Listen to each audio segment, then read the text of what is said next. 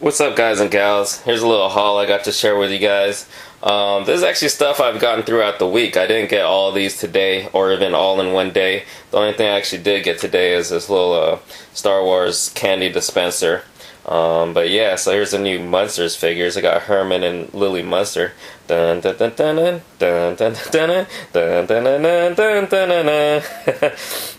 big fan of the Munsters when when those shows uh, I grew up watching when I was a kid. Loved it.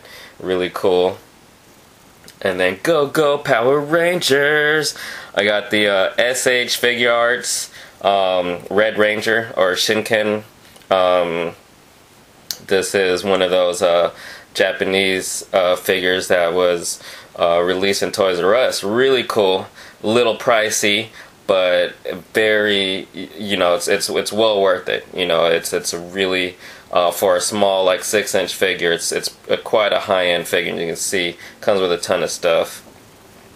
Then, bum, bum, bum, bum. okay, I kind of butchered that song. Do you smell what the rock is cooking? And I'm kind of sick right now, so I'm just talking all kinds of silly. But yeah, I got the uh, Road to WrestleMania uh, Elite Collection rock. How awesome is that with the I Bring It shirt on and everything? Really cool. Mortal Kombat. yeah, that's from the movie, but yeah, there's the the new four inch uh, Mortal Kombat Klassics figures are out now at Toys R Us. Uh, this comes with Cyrax, Sector, and Smoke.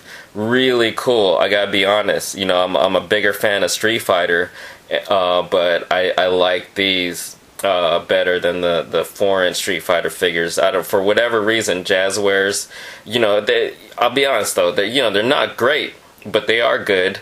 Um, and for whatever reason, they did better on the Mortal Kombat figures than the Street Fighter figures. And finally, um, it's the Star Wars uh, Clone Wars little candy dispenser. Really cool. It talks.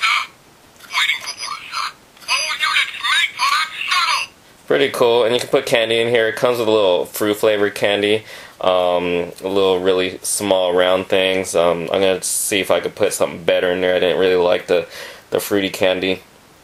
M&M's might be too big for it, but uh, I'll see what I can do.